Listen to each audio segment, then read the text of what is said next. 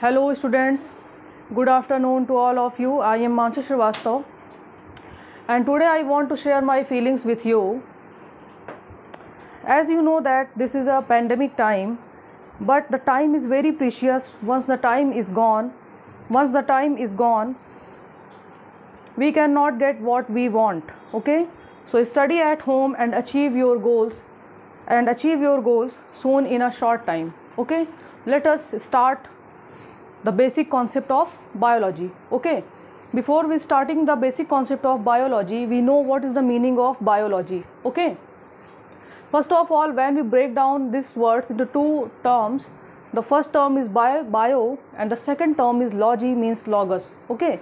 So bio means bio indicates the life okay? So what is the meaning of living and what is the meaning of living what is the definition of living so growth reproduction ability to sense environment and mount a suitable response come to our mind immediately as unique features of living organism okay क्या होगा first जो है वो क्या indicate करेगा growth the second one is reproduction and the ability to sense environment and mount a suitable response come to our mind immediately as unique features of living organism okay क्या होता है बेटा इसमें कि लिविंग हम उसी को कहेंगे जहाँ पे ग्रोथ की ग्रोथ जो है वो स्टार्ट हो। जाए सपोज़ करिए कि हम लोग क्या थे जब हम लोग न्यू बॉर्न बेबी थे, ठीक है? हम लोग जब फ़र्स्ट टाइम इस वर्ल्ड में आए हुए थे तो हम बहुत ही छोटे थे।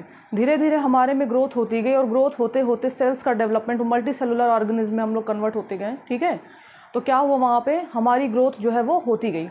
सेकंड क्या था कि जब आप किसी प्लांट्स के सीड को सोन करते हो तो वो प्लांट्स भी धीरे धीरे क्या होता है ग्रो करते हुए एक ट्री के फॉर्म में हमें आगे मिलता है देन उससे हमें कई सारी चीज़ें और मिल जाती हैं। तो लिविंग होने के लिए सबसे पहला कंडीशन क्या है कि ग्रोथ होनी चाहिए। And the second one is reproduction reproduction देखिए, हर एक वर्ड्स में ही उसकी मीनिंग जो है वो छिपी होती है। तो reproduction when we break down this words in two forms first one is repro re and the second one is production okay reproduction means to increase there to increase the same kind of population same kind of individual okay क्या होगा? Suppose mango का tree है तो वो क्या करेगा? Mango के mango को ही प्रोड्यूस करेगा ओके एंड बनाना है तो वो बनाना ही प्रोड्यूस करेगा. लॉयन है वो लॉयन ही लॉयन ही प्रोड्यूस करेगा. ठीक है? वैसे ही ह्यूमन बींग्स क्या है? वो ह्यूमन बींग्स को ही प्रोड्यूस करेंगे.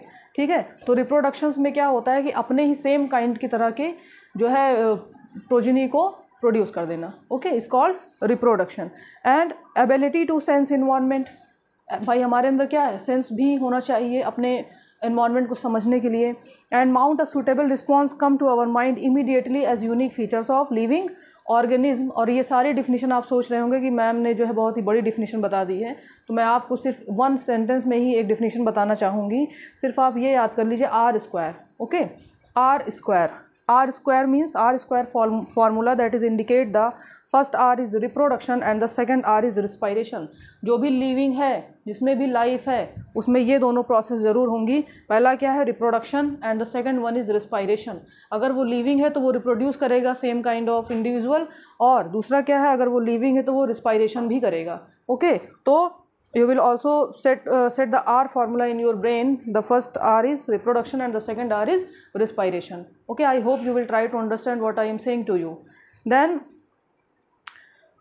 biology is uh, again further divided into two parts. The first one is called zoology and the second one is called botany.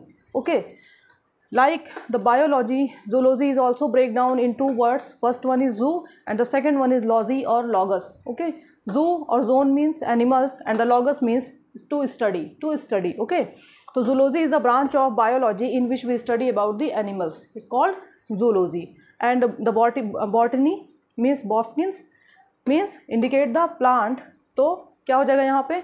Botany is the branch of biology in which we study about the plant is called botany okay now some important terms और some important fact related with biology is that Linnaeus called Theophrastus father of botany ठीक है?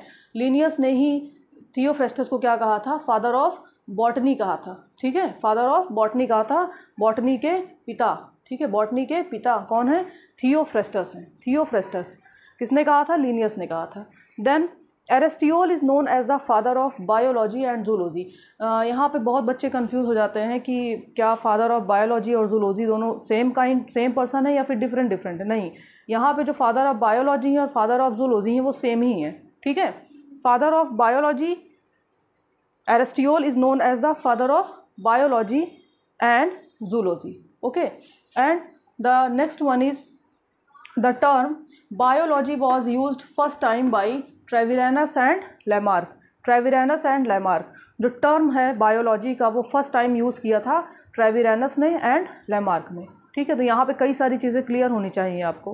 Father of botany is called Theophrastus father of zoology and father of biology is called Aristotle and the term which which first time use by and the term biology was first time used by Treviranus and Lamarck. Treviranus and Lamarck and here it is a very very important sentence or it is a very very important line related with biology और जो क्या होता है minimum बच्चे ही इसको जानते होंगे मतलब बहुत कम लोग इसको जानते होंगे जो क्या है mother of biology mother of biology every person know that what is what is who is the father of biology who is the father of uh, botany and other uh, and, other uh, branch of science okay? But here it is a very important line that is who is known as the mother of biology okay? तो Maria सिबेलिया Marrion ये एक ही नाम है अलग अलग नाम नहीं है ठीक है? Maria Sibylla Merian known as the mother of biology okay Maria Sibylla Merian जो है उनको हम लोग कहते हैं मदर ऑफ़ बायोलॉजी बिकॉज़ इन्होंने अपना बहुत ही इंपॉर्टेंट रोल जो है वो प्ले किया था इसमें इंसेक्ट में, ठीक है? इंसेक्ट में बटरफ्लाइज वगैरह में भी इन्होंने अपना बहुत ही इंपॉर्टेंट रोल प्ले किया। कई सारी बुक्स वगैरह भी इन्होंने जो है लिखी थी। तो इसीलिए क्या है इनका? इनको कहा गया mother of biology mother of biology okay I hope you will try to understand what I am saying to you but if you have any confusion any doubt related with this topic you can ask me and comment and comment me okay आप क्या करते हैं? अब नीचे comment लिख करके भी आप मुझसे क्वेश्चंस को पूछ सकते हैं जो आपको इसमें समझ में नहीं आया है। ठीक है? आई होप आपको ये क्लास अच्छी लगी होगी। और अगर अच्छी लगी, अगर कुछ भी आपको इसमें से सीखने को मिल रहा है तो प्लीज़ आप इसको लाइक करें शेयर करें एंड सब्सक्राइब करें।